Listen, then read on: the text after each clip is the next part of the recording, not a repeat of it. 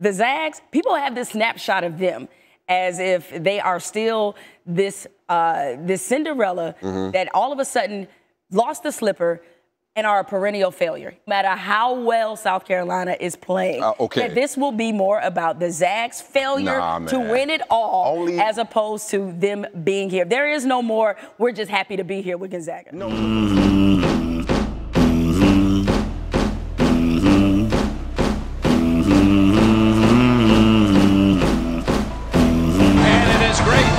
west in the Valley of the Sun. We're up first.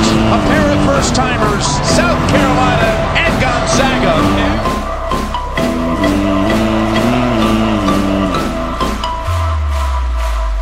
To go.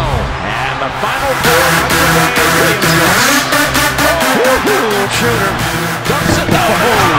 How about that inside? Now this pace, it favors Gonzaga. Mathews, who's getting hot.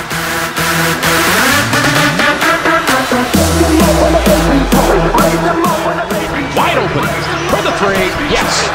Inside.